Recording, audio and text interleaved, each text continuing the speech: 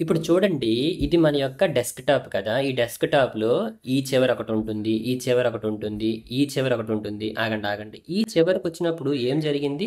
ఏదో ఒకటి ఓపెన్ అవుతుంది. చూడండి.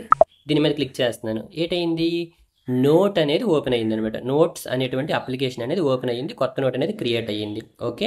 అలానే ఈ చివరికి పట్టుకొని పట్టుకొనెళ్ళాను. ఏం జరగలేదు. సో, యాక్చువల్‌గా వీటిని ఏమంటాము అనుకోనంటే హాట్ కార్నర్స్ అంటామనమాట. ఓకే. ఇదేంటిది?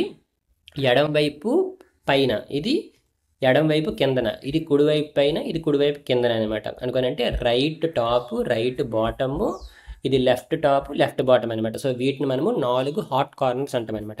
అయితే ఈ యొక్క హాట్ కార్నర్స్ దగ్గరికి మన యొక్క మౌస్ పట్టుకొని వెళ్ళినప్పుడు ఏదైనా ఒక యాక్షన్ మనం చేసుకోగలమనమాట. సో, డిఫాల్ట్‌గా ఈ యొక్క మ్యాక్ ల్యాప్‌టాప్‌లో మనకి మ్యాక్‌బుక్ ఎయిర్‌లో ఏం చేశారనుకోనంటే ఇక్కడ మీరు చూసారా? ఈ బాటమ్ రైట్ ఓకే. రైట్ బాటమ్‌కొచ్చినప్పుడు ఒక కొత్త నోట్‌ని మనం క్రియేట్ చేసుకునే విధంగా వాళ్ళు పెట్టారనమాట. అంటే ఇప్పుడు ఫర్ ఎగ్జాంపుల్ మనం ఏదైనా, ఏదైనా ఒక అప్లికేషన్‌ని వర్క్ చేస్తున్నామనుకోండి. సో, ఏదైనా నోట్స్ రాసుకోవాలి అన్న పాయింట్ ఆఫ్ వ్యూలో వాళ్ళు ఇలా ఇచ్చారనమాట. సో, కుడివైపు కిందకి ఇలా పెట్టగానే నోట్స్ వస్తుంది. సో, కొత్త నోట్స్ మనం క్రియేట్ చేసుకునే విధంగా వాళ్ళు పెట్టారనమాట.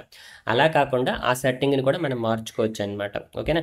సో, అందుకోసం మనం ఏం చేస్తాం అనుకోనంటే సెట్ సిస్టమ్ సెట్టింగ్స్‌లోకి వెళ్దాం. సో, సిస్టమ్ సెట్టింగ్స్‌లోకి వెళ్ళిన తర్వాత ఇక్కడ మనకి డెస్క్‌టాప్ అండ్ డాక్ ఉంది కదా!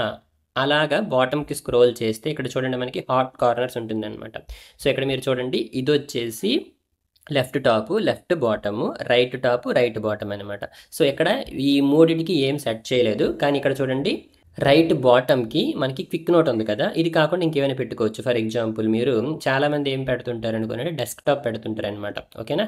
సో, ఇప్పుడు డన్ మీద క్లిక్ చేశాను కదా! ఇప్పుడు ఒకసారి ఇది క్లోజ్ చేస్తున్నాను ఇప్పుడు చూడండి ఫర్ ఎగ్జాంపుల్ మీరు ఏదైనా ఒక అప్లికేషన్ యూజ్ చేస్తున్నారనుకుందాం. ఫర్ ఎగ్జాంపుల్ నోట్స్ అప్లికేషన్ లేదనుకోనంటే యాప్ స్టోర్ అప్లికేషన్ కానీ ఏదైనా ఒక అప్లికేషన్ యూజ్ చేస్తున్నారని అనుకుందాం.